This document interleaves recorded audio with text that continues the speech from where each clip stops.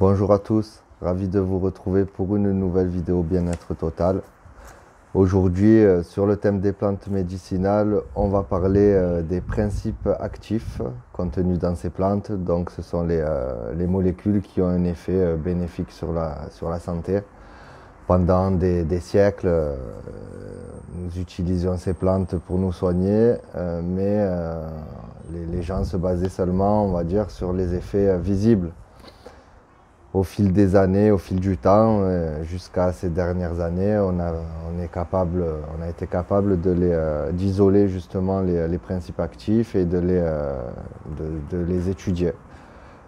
c'est grâce à ça que je vais pouvoir vous, vous énoncer et, vous parler un petit peu de tous ces principes actifs, de leur utilité, de leurs effets. Alors pour commencer, je vais vous parler des phénols.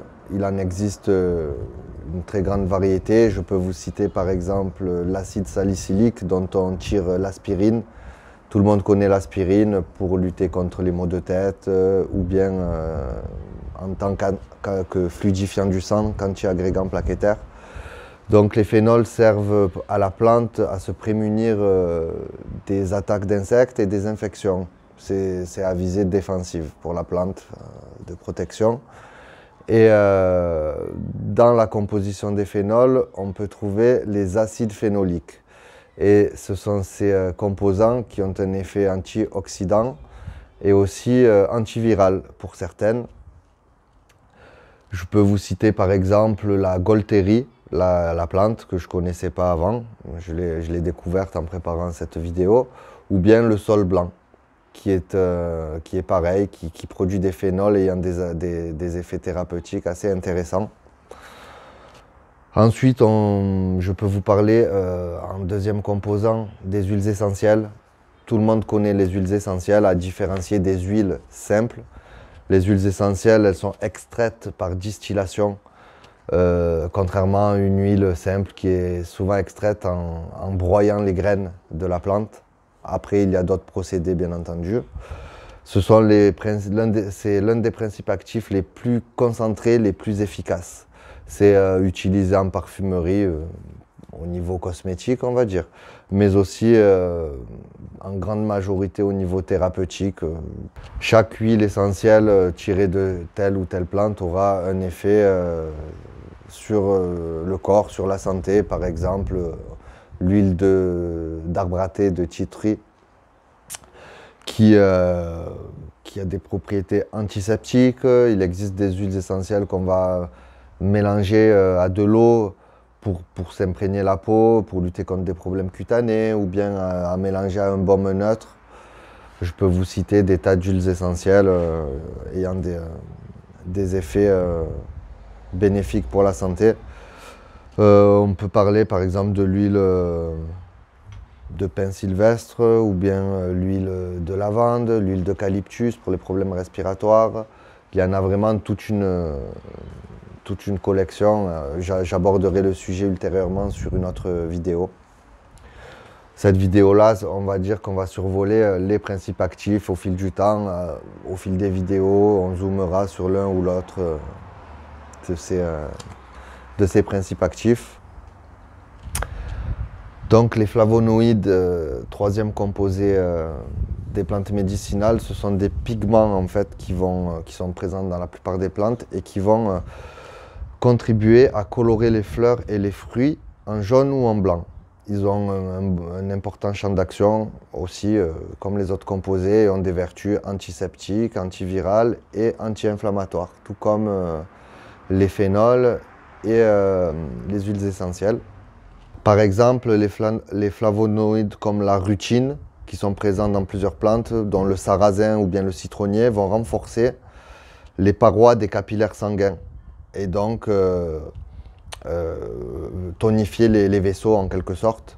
Ou bien, par exemple, les flavonoïdes du citron peuvent avoir des effets œstrogéniques, c'est-à-dire qu'ils vont traiter les troubles liés à la ménopause. C'est vraiment, euh, là je, n'en cite que deux, mais il y en a vraiment euh, beaucoup. Ensuite, les tanins. Alors, toutes les plantes contiennent des tanins, euh, à un degré plus ou moins élevé, c'est variable. Et ce sont ces composés-là qui vont donner un goût amer à l'écorce ou aux feuilles de la plante et vont les rendre impropres à la consommation. Euh, donc ce sont, euh, ce sont des composants polyphénoliques qui vont contracter les tissus en liant les protéines et en les précipitant. D'où leur emploi par exemple pour tanner les peaux. Ils permettent aussi de stopper les hémorragies et de lutter contre les infections. Euh, les plantes riches en tanins, elles sont utilisées pour retendre les tissus souples, comme aussi pour les veines variqueuses. Donc, euh, au niveau textile comme au niveau de la santé. Ça va permettre de, drainer aussi les sécrétions. Donc, par exemple, pour certaines pathologies comme la diarrhée où l'on perd beaucoup de liquide, donc ça va resserrer les tissus, ça va ralentir la perte de liquide. Ça va aussi euh, permettre de réparer les tissus endommagés comme euh, après une brûlure ou bien après une, éruption d'eczéma. Euh, je peux vous citer par exemple les écorces de chêne ou d'acacia qui sont riches en tanins. Ensuite, on va parler des anthocyanes. Donc euh, les anthocyanes, ce sont euh, pareil, donc euh, des composés que l'on retrouve dans la plupart des plantes et qui vont donner aux fleurs et aux fruits la teinte bleue, rouge ou pourpre. Donc ces anthocyanes ont aussi un effet antioxydant ils vont permettre de... Les antioxydants, en, gros, permettent euh, à l'organisme de ne pas se charger en radicaux libres. Et les radicaux libres sont responsables, entre autres, de cancer, mais peuvent être responsables aussi d'autres pathologies. Donc, euh, ils vont permettre, avec leur effet antioxydant, de, de détoxifier l'organisme de ces radicaux libres. Ils vont permettre de maintenir une bonne circulation, au niveau euh, capillaire, au niveau euh, vasculaire. Donc je peux vous citer par exemple la mûre sauvage, la vigne rouge, l'aubépine qui contiennent euh, des bonnes quantités d'anthocyanes. Ensuite, je vais vous parler des coumarines. Les coumarines se trouvent aussi dans la plupart des plantes. à chaque fois, je commencerai ma phrase de la, même, manière puisque ce sont les composants des plantes que je traite.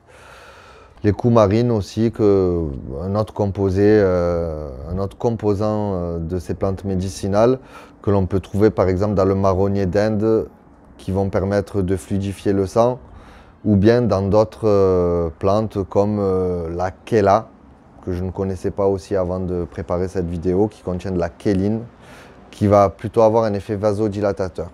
Donc en fait, selon la plante, les coumarines n'auront pas forcément le même effet. Euh, c'est à, surveiller et à étudier. Les saponines. Alors les saponines sont les principaux constituants de nombreuses plantes médicinales et elles doivent leur nom au fait que comme le savon, elles produisent de la mousse lorsqu'elles sont euh, mélangées à de l'eau.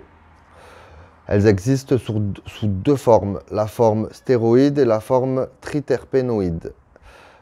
Donc euh, leur structure euh, chimique est similaire à celle de nombreuses hormones humaines et, de nombreuses plantes qui en contiennent ont un effet sur l'activité hormonale humaine.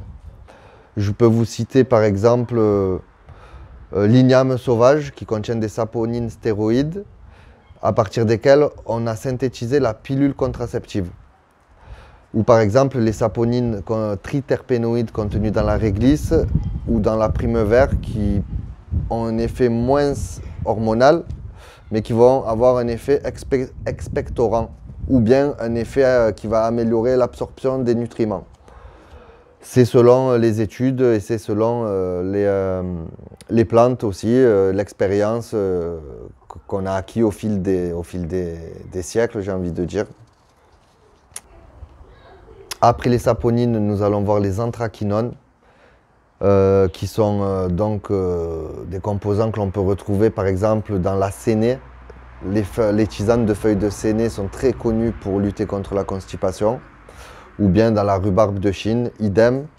leur point commun, la racine de rhubarbe est très efficace aussi contre la constipation. On peut donc facilement penser que ce sont les anthraquinones communes qu'ils contiennent qui ont cet effet thérapeutique En fait, elles vont agir euh, sur le, le, côlon en, ayant un effet euh, laxatif.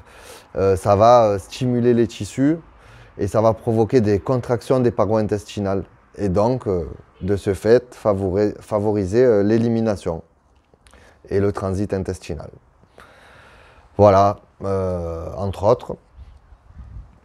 Ensuite, les glucosides cardiaques qui sont présentes dans, de nombreuses plantes comme la digitale laineuse et la digitale pourprée et le muguet. En parlant de digital, on peut penser à cette classe de médicaments justement cardiaques, les digitaliques, qui ont un effet sur le rythme cardiaque, la contraction cardiaque, entre autres.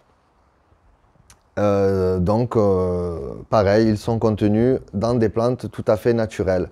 On a du mal à se l'imaginer lorsqu'on avale un cachet euh, blanc parce qu'en fait, ce sont les molécules ont été synthétisées, mais la copie originelle était dans la nature. Euh, alors donc voilà, ils ont une action assez puissante sur le cœur, ces, composants-là. Et, donc, ils, sont la base de pas mal de médicaments sur le système vasculaire les glucosides cyanogéniques, qui eux sont des substances à base de cyanure. On connaît tous le cyanure qui est un poison à la base. Euh, donc ces composés-là, les glucosides cyanogéniques, sont à petite dose utilisés pour avoir un effet sédatif et relaxant sur le cœur et sur les muscles en général.